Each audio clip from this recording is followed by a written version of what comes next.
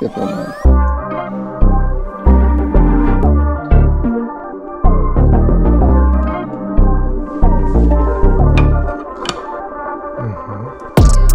Tagad mēs pieskrūvēsim dzēnu. Sabojās. gan. Speciāli sabojām. Šī ir alumīnija. Šī ir alumīnija. Jā. Un kurš šitā pa akmeņiem uzdodot šitā? Nē, tas tas slavenais bebrs ir vainīgs. A metāla zobiem. Jā, ar akmens zobiem un metālu. Tas taču nacionālais dzīvnieks, kas visu laiku tās bēdas mums rada. Jā, un attiecīgi mēs zinām, kurš ir kā viņu. Tā mēs varam noskaidrot, kā vai viņi ir arī tad, ja nav acīm redzami defekti, kas viņai ir. Kurš spārniņš ir smagāks un kurš vieglāks? Jā. Jā, Jo tas disbalans, tas mums ir redaktora galvenais ienaidnieks. Nu, ja neskaita pašu lietotāju. Un redzi, kas te skaidri un gaiši mēs redzam, ka nosistais spārniņš ir augšā visvieglākais. ir augšā jā. visvieglākais. A tagad mēs paņemsim un uzliksim pilnīgi veselu jaunu dzenskrovi. Vai ne? Jā, Un apstīsimies, kā, kāda situācija ir ar veselu jaunu dzelzceļu. ok. A, varbūt mēs varam paņemt arī ķīnieteni un vienu labo. Ja tur būs starpība. Paņemsim tūlīt ķīniešu dzelzceļu, bet zini, viņas ir pat ir diezgan labi sabalansētas. Tā kā nekādu tu tur Ah, baigo starpību tu neredzēsi, bet mēs varam paņemt. ā, Jā, mums ir dažādas tās dzelzceļus, kādas tu vien vēlies. balansieris. Nu, interesants tāds. Kaut kāds ar zelta rokām gan jau, ka var pats ar kaut kādu līdzīgu iztaisīt. apmēram ne? 200 modeļu dzelzceļu. Tiem šitiem? Nē, vai pašām dzenskrūvēm? Dzenskrūves 200 dažādi modeļi priekš uh, dažādiem dzīves gadījumiem. Nu, paņemsim to pašu jamu. To pašu jamu. Paņemsim. Nu, kāda jamaha? Šitas ir ķīniešu kopija no jamahas. Cits materiāls, savādāk noteikti tā ir rūpniecība, kā viņi tā Nu, es tev teicu, tā ir kopija. Viņi vienkārši brutāli ir paņēmuši Yamahas dzenskrūvi un nokopējuši. Un viss viens pret vienu. Viens pret vienu. Vienkārši nav pat pakautrējušies. Tas ir pats labākais.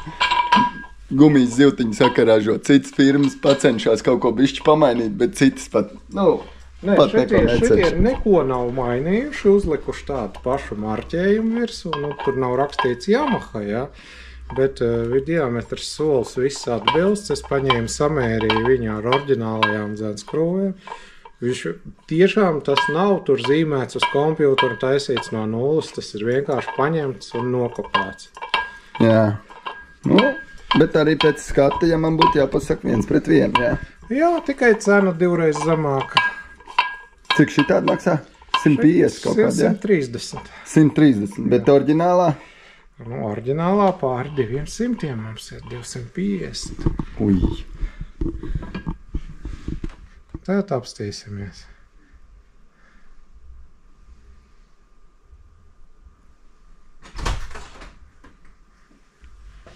Nu, ņemot vērā, ka viņš šūposies ilgi, tas balans ir gandrīz pa nulēm. Protams, šitais te uh, spārniņš ir bišķiņš smagāks, to mēs redzam, šitie ir vieglāki abi divi. Bet pēc tā, cik ilgi tas viss jau kustēsies, tas ir skaidrs. À, tad viņš būtu stājies mierā, ja būtu vairāk tur tā teikt. Nu, ja tur būtu Bīstam, jā. liels tas, uh, liela starpība, tad to, mēs uzreiz pamanītu. Ja? Bet šī situācijā Baigi labais. Mums mēs saprotam, ka viņš, svarš. ka viņš grib uh, gan šitais tikt lejā, gan šitais tikt lejā, bet šis tomēr ir bišķiņ, bišķiņ smagāks. Ja? Nu, labs. Riktīgi labais. Principā, ja, ja jūs gribat tā, ka viņš stāv uz jebkuras pārniņa, uz jebkurā pozīcijā, tad viņš ir jāslīpē. Brutāli ņemam fleksi, slīpējam šeit aizmuguri nost, ja, aizmuguri priekšu nedrīkst, aizmuguri, ja, Un um, burtiski tur pāris grāmi, un mēs panākam to, ka viņa jebkurā pozā stāvēs. Jā. Jā. Nu, parasti pēc remonta tad apmēram tādā stāvoklī tās dzenskraus ir tiek atdotas, kad viņas jau var strādāt. Un viņas būs super sabalansētas. Vai pats uz savu svaru. Tāda ir fizika, jā. Nekur. Nekādas elektroniskas iekārtas, bet te ir smuki viss līmeņos, kas saliek, nekur visi var redzēt, ko viņš Jā. kā. Mēs varam, protams, paņemt eh, zini, kaut kādu arī nerūsējošā tērauda dzenskravu, kaut ko nopietnāku. Kāda tā starpība? Uh, tu par balansu vai par dzenskravēm? Pa dzēnskrūvēm. Par dzenskrūvēm, nu, tā ir, tā ir pavisam cita pasaule, nerūsējošā tērauda dzenskravas. Nu, es atnesīšu, tad parunāsim, jā? Labi. Mērnēs dabūja. Saucamās ņerža veiks. Wow. Kam tā bijusi virsū, Werner? Kāpēc tik spīts viņa ir? Viņa ir tagad Jā, žila. nav vienkārša dzenskrūve. Šī ir sporta pusiegremdētā dzenskrūve. Viņa ir bijusi uz kaut kādu Merkūriju, ap 200 zirgspēkiem. Ko nozīmē līdz pusē iegrimstot? iegrimstot? Respektīvi, viņa strādā ūdenī šādi. Ūdens līmenis būs šeit. Tas ir motors, kas tiek celts ar liftu augšā. Lai dabūtu maksimālo ātrumu. Nu, dažiem makšķerniekiem ir tāds laivas ar tādām dzenskrūvēm šajā zemē. Un Šī taču ir handmade. Nu, Nē, tāds- nē, nē, tā ir rūpnieciska. Arī, jā? dzenskrūve Amerikā tādas ražo. Jā, bet te tā kā nāc. Ja nav desiņa, ko nogriezt, arī paņem. Var, var desiņu laivā nogriezt ar šitādu. Un Ten... šeit to var nogriezt visu kaut ko. Viņš arī smuki pēc idejas, arī kaut kāds tīkls, ja trāpās ar smuku sašķērē, ne? Ja nav. Jā, tikai rēķinies, ka ar um, pusiegremdētām dzenskrūvēm, ja tev nav elektriskais lifts, tad starts ir ļoti bēdīgs no vietas. Jā. No viņām jēga Kamēr ir tad, tad, kad tā laiva jau ir izcēlusies glisē.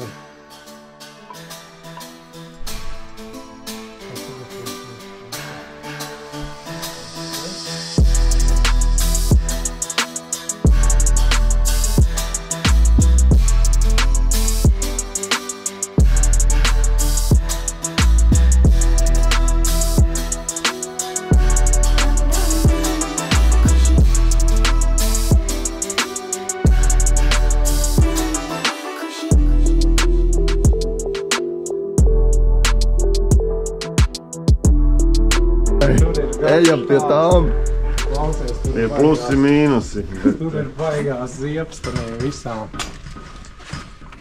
Šādas man ir Respektīvi. uzdāvināts no Botshops. Starp citu, šitāds man ir. Starp citu, nu, te kāds ir padarbojies. Starp citu, ārkārtīgi nu, vizuāli labas. Ērtas, kad ir karsts. Viņa neaizņem vietu. Viņa ir ļoti kompakta. Nu, es tagad pa bet pozitīvu. tagad skaties, ir visādas nianses. Piemēram, Kurš tās jāņem vērā? vestes, ko mēs tev tikko rādījām, oranžās, tur parastās, visas šitās vestītes, jā, viss tas ir. Tas ir vienkārši uzvilki un lieto.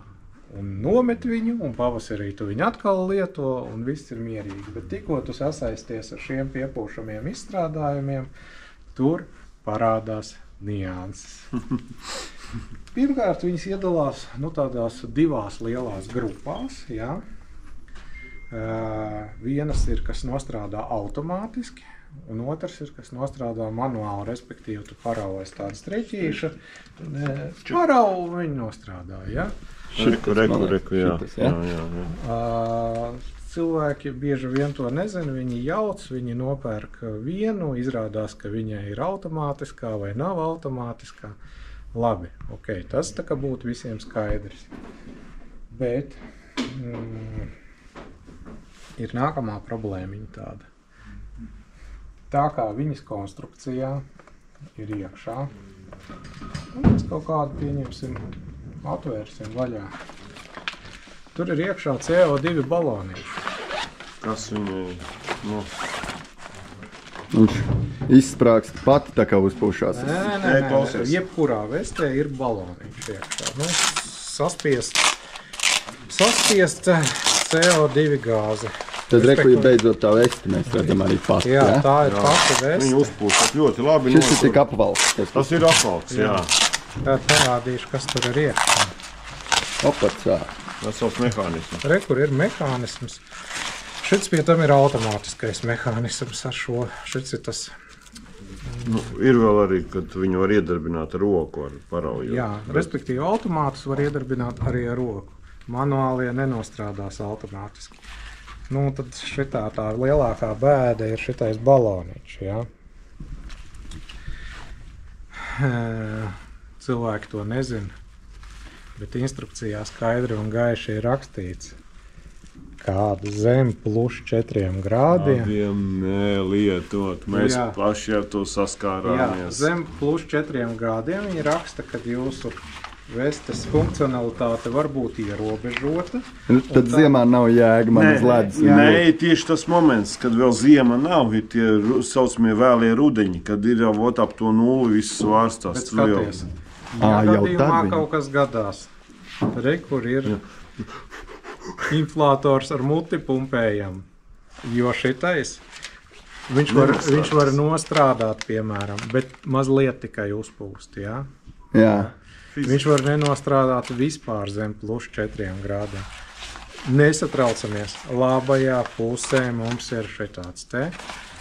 Raujam šito vaļā, pūšam ar muti iekšā, paliksim dzīvi. viņam nav nekāda neslēdzēja, viņš atraujams vaļā. Ir principā tikai uz to Tikai ļip- ļipučku saucamo. plānā. Vaļā. Jā. Respektīvi, viss ir diezgan vienkārši. Respektīvi, tas jūs izglābs. Ir bijuši gadījumi, kad cilvēki to vienkārši nezina, kas tajā vestē ir iekšā. Ja? Viņi nezina, viņi nekad nav atvēruši, nav apskatījušies, kas tur ir iekšā. Švilpīt, tur pat Tur ir. ir svilpīte, jā. Un kas šī tāpat silpa, tā ir, kad man glābējiem Jā, kaut kā. tur ir glābējiem cilti. Un tālāk mums tur sākās vēl trakākas stēles ar to visu. Respektīvi, Jā, vislielākā bēda. Šīs vestes katru gadu ir jāpārbauda un jāapkopja. Un jāved uz tām organizācijām, kas ar to nodarbojās. Piemēram, šeit Rīgā ir tāds uzņēmums Garants Safety, kurā var diezgan daudz firmu vestes pārbaudīt. Arī mūsējās mēs sūtām cilvēkus uz turieni pārbaudīt. Ja? Līdz ar to, dārgie mani, nopērkot šādu vesti, jūs nokļūstat tādā situācijā, ka jums katru gadu būs jātērē kaut kāda naudiņa, jātērē laiks uz to vesti. Ja? Un, jā, Bet palika slāpja. Čomam bija problēma. Palika slāpja mašīnā, veste, uzsprāga. Nevienam vien.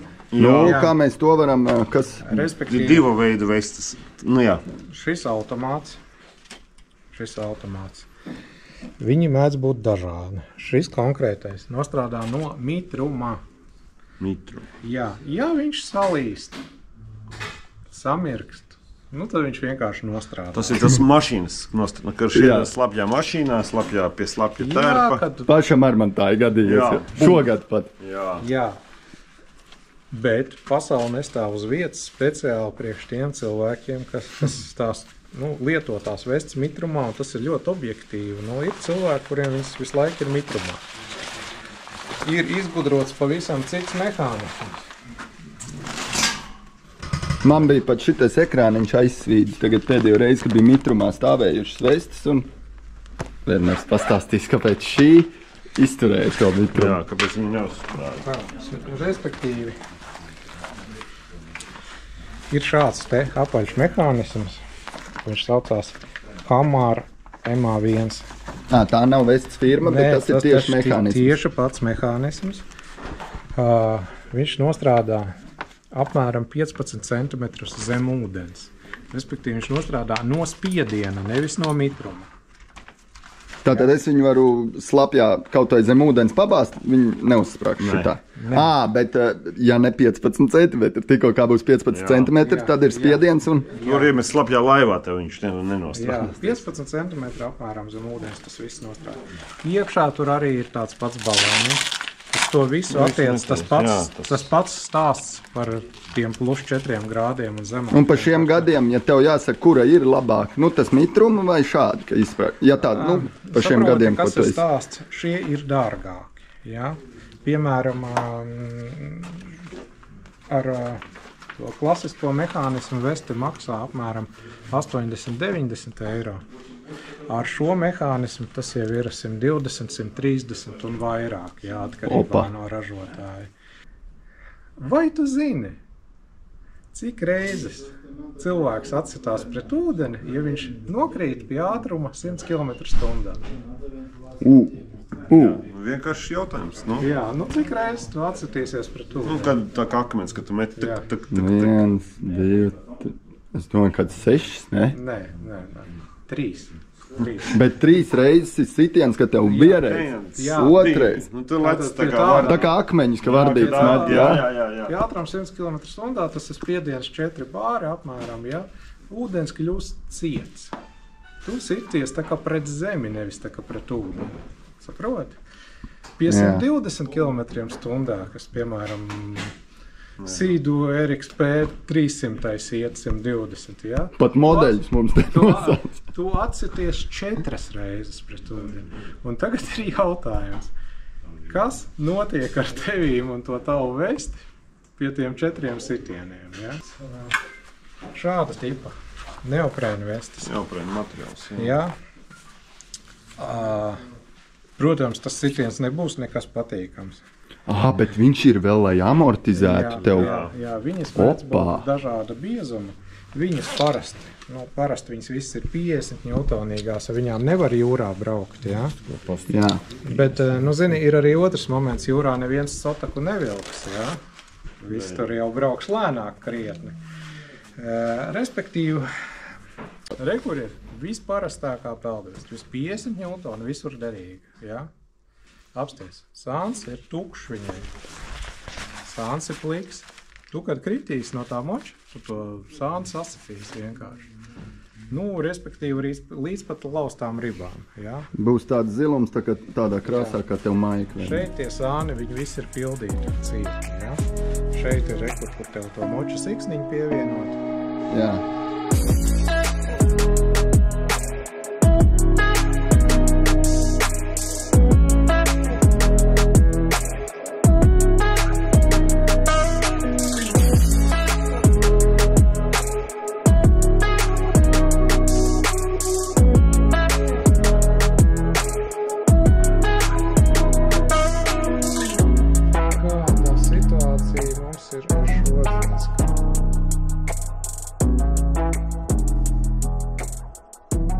Te ir perfekts balans. Vot šeit ir perfekts balans. Apliekat kā gribat, un viņi vienkārši stāv. Nu, kaut kas te bišķiņ ir bišķiņ smagāks. Ir, ir, ir, ir, Nu, ir, ir, ir, jā. Stipri minimāli. Skaties, tu viņa aizbrauks tas spārniņš lejā. Bišķiņ, bišķiņ ir. Bišķiņ, bišķiņ ir.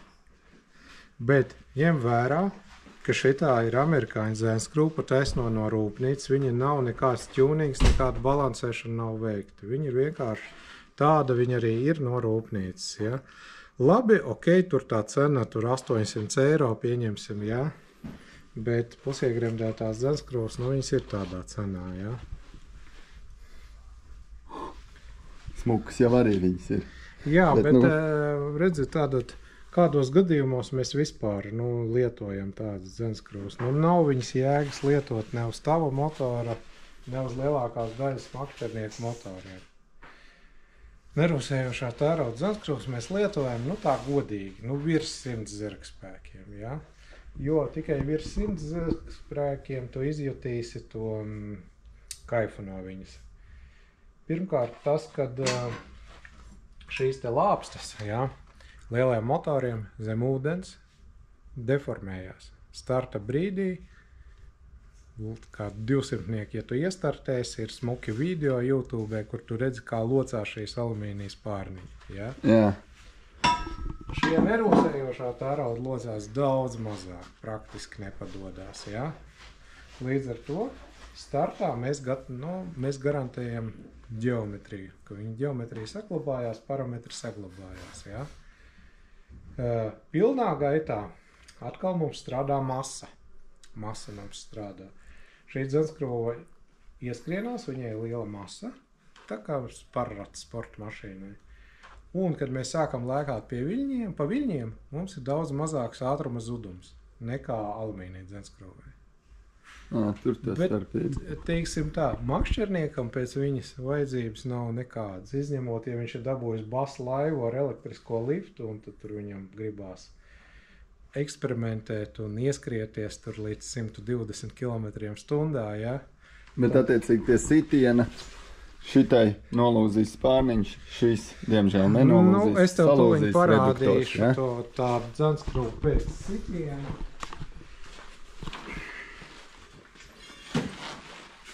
Tā. Šitais sitiens, šitais konkrēts sitiens izmaksāja 8000 eiro. Un ne jau dēļ paša dzenskrūvas, vienkārši reduktorā viss zobrati bija beigti. Šitā no Bravo 3 ir dzenskrūva. Ties, kas pa spēku. Jābūt, kā tu redzi, viņa pat nav salūzusi īsti. Viņa vienkārši salocījusies, tikai nu, zobratu vairs nav. Tur tā starpība.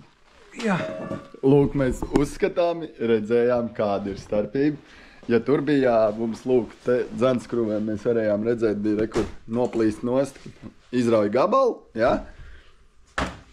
Tad tur mēs redzējām, nekas netiek izrauts, tur izrauja reduktoram gabalu. jā tas, ir, tas ir tas, kas ir jāņem vērā tiem cilvēciņiem, kas uz kaut kādiem motoriņiem grib uzlikt nerosējošā tērauda dzenskrūves. Jā, ja jūs esat dziļā vietā, kur nav akmeņu, ja, kaut kur jūrā, no startējot no, no dziļa krasta, varat to spēlēties. Bet, eh, ja tā kā tu braukā pa sacensībām, pa nezināmām vietām, tad eh, Īsti nē. īsti nē, vienkārši paņem sev līdzi otru tādu pašu dzelzkroku, kā tev ir. Un mietā. Un viss kārtībā. Viss ir kārtībā. Bet, teiksim, ja ir salocīts pārniņi, eh, tikai salocīts, izraut gabalu nav, vai salocīts alumīnijas pārniņš, tur kaut ko vēl var līdzēt. Ne? Nu, teiksim, uz, uz Līdzēt remontu. var praktiski jebkurā gadījumā, izņemot gadījumus, kad nav vairs viss pārniņi norauti. Ā, bet tāpat norautam bišķiņas pārniņām pat var Protams, piemetināt. ka viņus piemetina, piemēram, šitā te ir normāli remontējama dzenskrūve. Tikai ir viena stēle, kad šobrīd uh, veikalā ir tik lēts ķīniešu dzenskrūves, ka šo dzenskrūvu remontēt vairs nav jēgas. Neatmaksājās. Jā. Jā, tas viņi izmaksās eh, konkrēti šitā. Reāli izmaksās remonts kaut kur ap 90 eiro.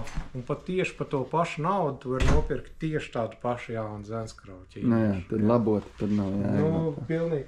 Labot ir jēga kaut kādas ekskluzīvas lietas, kaut kādas aizvēstures dzenskrūves, kuras nu, mēs nevaram uh, nopirkt. Viņu vispār nav. Ja?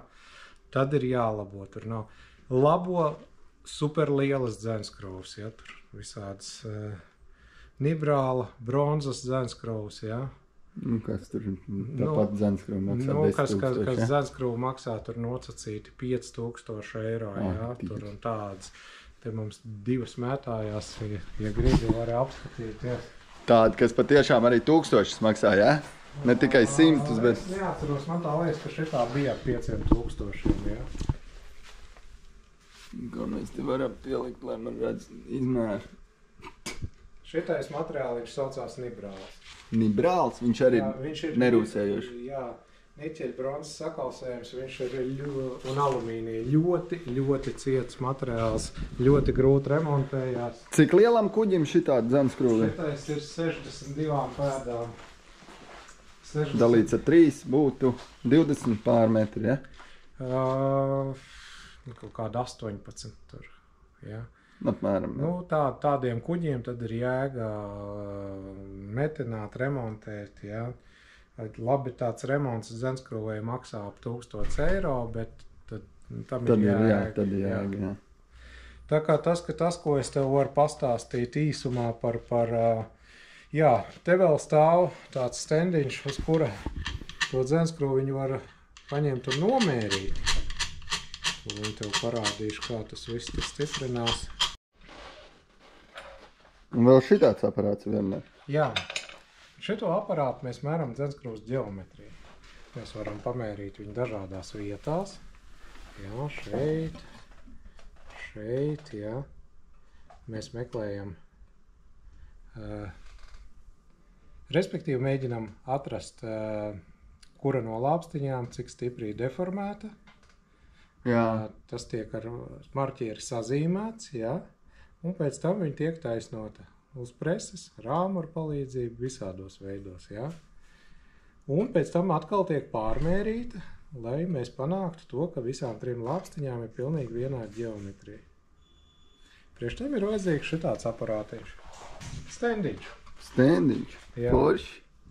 Un viņi vienkārši tā braukā uz riņķi, un arī tā, ka tam bija tikko, kā mēs skatījāmies, Jā, protams, pamērīt mēs šobrīd neko tevīm nemēram, mēs vienkārši, muļķojamies. mēs vienkārši muļķojamies. Bet jā. šitā uz rīta, jā, un, un stūrīšus mēs samēram visiem. Ja iet apkārt, tad visiem iet smuku lūk apkārt. Jā, nu, šeit nav precīzi. Nu, tagad būs precīzāk. Jā. Nu, Labs. Un ja neskarās tur, tad neskarās nevienā vietā. Labais. Nu, te arī cena labi ir tām nerūsējošā tērauda detaļiņām. Kā tā asa ir? Šī ir Tohatsu asa. Bet Ja? šī ir pilna, pil, pildītā vēl. Ir arī ar tukšu vidi. Ko mēs darām tagad? Vienmēr? Ko tu te dari tagad ar šito? Kas tas paparāda? Šitais aparāts ir domāts, lai mēs varētu nomērīt asis. Kā tu zini, ka tas bebrs uzbrucis ir tā iedzētskrūvēji, tad Jā. rezultāts nav tik vienkāršs. Rezultāts ir arī beigt asis parasti. Paņemam, paskatāmies, kā te. Reku tu redzi, ka šitai asī ir pavisam slikta veselība. Tam pulkstenītim būtu jāstāv uz vietas. Uzstādīt ir Šitā- praktiski jāstāv uz vietas. Ā, tur ir tāds mazais, kas viņu rekur tāds pipuks, kurš cilājās, jā, jā. Jā. pēc tā, kā viņu. Un mēs redzam, ka šeit ir ļoti. Bet viņi pēc, pēc acis izstījās nekādu vainu. Jā, īstenībā. teiksim tā, bet Gal, čaļi jau uz galda ripina parasti. Jā, nu, tā- ko, ko to asi, to asi vēl var izglābt. To asi vēl var izglābt īstenībā. Bet ar to ašu taisnošanu ir tāda spēle, ka nevienmēr, nevienmēr tā asa pārdzīvo to taisnošanu. Dažreiz viņas pārplēst. Un jauniem motoriem, jauniem, visai jaunām paudzēm, kas ir tie super vieglie, tur 40 kg un tā tālāk, asis ir tagad ar tukšu iekšu. Ja? Nu, un tās taisnot ir ļoti grūti. Katra otrā mēģina pārlūst. Tā ir tāda loterija, kurā var piedalīties. Šito Paveicās, paveicās, nepaveicās, būs jāpērk jaunu. Ja? vēl Dārga. Skatoties, kāds motors, nu, teiksim tā, viss sākās no 300. Uš, uš, šaise. Šaise angliski būtu. Ja tā notiek ar to tur, tad es. Nu, neko, nu, kas zini, pats uzsiti, pats vainīgs. Ja? Tas gan, jā. Cik Nav braukt, palīdzēs. Jā, nu te nekas netiek virpots. Te vienkārši viņu taisno presē tikmēr, kamēr. ā, Viņi pēc tam neatgūst to formu. Nav tā, ka viņi aiziet atpakaļ pēc kāda laika. Nē, viņa praktiski viņa, viņa grib uz to mm, deformēto pusi, ja viņa grib tur nokļūt atpakaļ. Bet ā, tāpēc to darbu nedara vienā piegājienā. Sataisam, atstājam, nākamā dienā turpinam. Ja? Jā, viņš Nākamā dienā Stress. Tur būs vēl kaut kas. Ja? Principā tāds nu, divi piegājieni pa stundai, un viss ir daudz maz normāli. Oh, nu jā, lai viņš savādāk metālā arī, ka viņš jāatstāja bišķi at, atpūsties, jā? Jā, jā. Nu, lai viņam tur iziet ārā visas tie spriegumi un kas tur, jā? Viņš ir. Grāmatā esam nonākuši līdz nodaļai, kas saucās Kompas!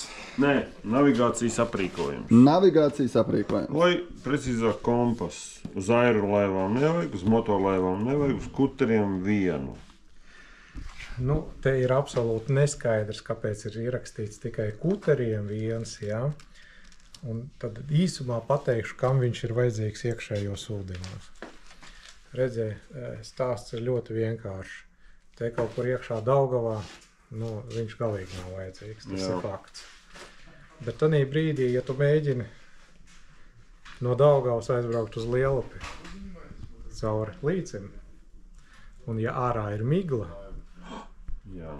Tad var sanākt uz Zviedriju. Tad brīdī tev ir var sanākt ļoti liels pārsteigums moments, protams, ja tev uz rokas nav kāds telefons vai kāds navigācijas iekārta nopietnāka. Ja? Tad brīdī tas kompass tev arī izglābs. Ja, Vai, ja tu vispār zini, kurā virzienā ir. Bet es paskatījos, kā tu pirms tam brauc, kur Jā, tev vajadzētu jā. braukt. Lai gan mēs visi labi zinām, ka izbraukšana no Daugavas ir ziemeļu virzienā, ja? un tad jau tālāk mums ir jābrauc uz rietumiem, lai nokļūtu Lielupē. Ja? To tā mēs apmēram zinām. Bet eh, nu, šāds nieciņš tur ir vajadzīgs. Un eh, noteikumos, kas ir par jūru, ja? Arī ir minēti šie kompasi. Un arī ir viņš minēts tikai kuteriem. Respektīvi, tie, kas brauc ar motorlaivām, miglā, var braukt, kur viņi grib. Apgāzušies, braucat, kur gribat. Brauciet, kur gribiet, respektīvi. Arī, ja nezināt, kur braukt. Jā, tas, tās jau ir jūsu problēmas. Jā, tas par kompasiem Kādi viņi visādi ir. Un, un, un elektro... À, kāpēc viņam ir vadi klāt? Kas... apgaismojums. À, Ah, arī tumsā, lai mēs varam. jā. Bet kompass paliek kompass, smuk, visādi Nu, balti, melni. Teikšu atklāti, te daudziem ir bijuši piedzīvojumi miglā. Ar, kad, nu, piemēram, burtnieks arī tas ir milzīgs ezers. Jā, Ja tu tur jā. pa vidu esi trāpīt ārā, ir kā ir. Nu, Nezinu, uz kuru pusi vairs. Nu, migla paldies. Dievam, ka tā Latvija nav bezizmēra, bet nu, tiešām Baltijas jūras līcī var aizvilkt kaut kur naktī, miglā, Dievs viņa zina, kur. Ties gan, lai tāda ekskursija Tu, tu, tu. rīkotu bez navigācijas iekārtām, arī ir jābūt īpašām spējām. Labi, mums ir nākamā tēma. Atsūk, atsūknēšanas līdzekļi. Nu, tur varbūt tās saliekam divas kopā. Ir sateču ūdens sūknis, kam nav jābūt ne uz air laivām, ne uz tas tas bilžu sūknis, jā. Jā, Jā, tas, ko mēs saucam par bilžu bilžu sūkni. Jā, bet, nu, nu jā, var, var strīdēties. Labāk jau, ka būtu vismaz uz motorlaivām, jo, viņš at, jo ir dubultie dibeni saucamie. Jā. Tomēr, tomēr tas ir lietas līdz, līdz, līdz plus 200 kg. Nu, tas varbūt ne tik drošība, bet nu, ietekmē to, kad ir iegrima lēnāk. Vai nu arī spainis, liekšķere vai rokas ūdens sūknis, liekšķere, tas tāds grebjamais. Nu, tas ir jābūt gan uz airlaivām, gan uz motorlaivām, gan uz Liekšķerītē skaitās, tā kā es biju vienu gadu, ka mums uh, pieclitrīgai kanniņai nogriež augšu, un tad ir tāda, tas skaitās. ja īsti Dotajā momentā tā arī mums rāda tie cilvēki. Arī, jā, tas arī. Tas ir liekšķi. Nu, labi, mēs saprotam, ka viņš par to ir domājis, ka viņš ir vismaz lasījis. ka viņš ir Bet solas skatījies. nav tur virsū Bet solas tur nav, jā. Bet nu, viens no praktiskajiem tā viņi arī dara. Viņi nogriež un rāda, mana liekšķere. Nu, līdzīgs veidojums ir. Nu, jā, nu, ne, tādā respektīvi. ziņā, jā, mums nav arī tā, ka policijai būtu galvenais uh, uzlikt sodu. Nu, nav. nē, bet, bet nu, mēs redzam, cilvēks ir centies, viņš ir mēģinājis. Un, Tas ir malāmais. kā saka, Respektīvi, gribu vēl pateikt, ka šeit atkal tā Latvijas likumdošana nesaskan ar uh, Eiropas likumdošanu. Ja kādi jūs pērkat. C kategorijas motorlaivu no rūpnīcas, mūsdienu ar motoru, viss apakot, tad uz viņas ir jābūt tam elektriskajam ūdens sūknim. Ja? Mūsdienu laivu konstrukcijas ir tāda, tā galvenā doma ir tāda, ka viss ūdens no augšas lietus ūdens, viņi viss satek apakšā lejā, zemākajā punktā, un no tā punkta mēs to pumpējam ārā. Ja? Tas ir vi, vi, mūsdienās viss tāds izplatītākais konstrukcijas veids. Līdz ar to um, jebkurai zolīdai motorlaivai tas elektriskais ūdens sūknīts jau būs ielikts iekšā. Un var no savas pieredzes teikt, ka mūsu cilvēki ir ļoti apzinīgi un paši ļoti bieži pieliek šos sūknīšus klāt, jo tas ir. Tas reāli garantē gan drošību, pilns. gan komfortu. Jā. Nu, vispār krūtajās, nu, kā tā izteiciens, nu, foršajās lielajās copas laivās vispār divas pat liek. Ja viens no, no kurās tad ir otrs vispār, nu, tā. Nu, ka- respektīvi, tālāk, ja mēs runājam par kuteriem, nu, kuteros parasti rūpnieciski ražotos, īpaši jau B klases, ir vismaz divi gabaliņi. Ja? Jau iekšā. Jā, un kuteros B klases ir arī ar roku vai kāju pumpējamais sūknis vēl iekšā ielikts, ja gadījumā visa elektrība pazūd. Ja? Respektīvi, saku, Latvijas likumdošana ir ļoti lojāla pret cilvēkiem. Nu, jā, mums Pieļauj nav, prasības nav tik daudz traki. Jā. Tie, kas domā, ka mums viss ir uh, policija strādā, lai mums patiešām uzlikt sodu, galīgi tā nav. Ja Jā. mēs redzam, cik liela ir jābūt lapai un cik daudz ir jābūt viskaut kam, un, un nogriezt 5 litrīgu kanniņu mums tomēr izlaiž cauri, nu, tad jau nu, marķieru ar solas uzrakstīt. Ir. Nu, tālāk jau mums paliek visādi sīkumiņi, bet Bet- kas galīgi nav sīkumiņi. Jā. Mēs apturam. Mēs apturam laivu, sākam baudīt vestes, un ejam, ejam, ejam, ejam. Viss ir ok, bet tad viņš saka, uzrādiet lūdzu ēnkuru. Viņš saka, jā, man ir ēnkurs, es jums tur uzrādīšu. Un viņi arī uzrāda. Tas ir, tas ir, kā saka, attaisīsim. Nu, tas izvērsts ir tā kā plauks. ēnkurs, nu ir taču ēnkurs. Bet tas vispār ir paredzēts, vai tas piekariņš kaut kāds? Vai? Nu, tas ir rūpnieciski ražots ēnkurs. Nu, un mēs kā policija nevaram neko iebilst. Nu, Jā, jā, mēs smējāmies, ja tava laiva ir uh, traktora kamera riepas, tad var šādi izmantot. Tā, Respektīvi, nē, tā ir manta, kas tiešām ir ēnkurs, bet tas ir domāts boiņu noenkurot, jā, Jā. marķēšanas boju, piemēram. jā. nu jā. Uh, Tas noteikti nav laivai, bet šeit arī mums ir baigi foršā stēle. Latvijas likumdošana atkal ir absolūti lojāla. Un mēs kāpēc aerolaivai un motorlaivai neprasām neprasa ēnkurs. tikai kuterim. Bet tagad Jā. ieklausieties uzmanīgi. Manā uztverē ankurs ir vēl svarīgāks par glābšanas riņķi, vestu un vispārējo. Kāpēc tā, ja viss izlādējies, ka nes jūrā iekšā, vai kāds ir tas pamats, kāpēc man viņam vajadzētu? Respektīvi, problēmas ar dzinējiem sākas kad? Sākas ekstrēmos apstākļos. Ja? Visbiežāk Latvijā, no manas pieredzes pēc statistikas, problēmas sākas jūras vārtos. Tāpēc, ka tur ir vislielākie viļņi. Cilvēki, kas ir pieraduši cauru gadu braukāt pa absolūtu gludu ūdeni, tagad vai vasarā Izbrauksim jūrā. izbrauksim tur, palēkāsim.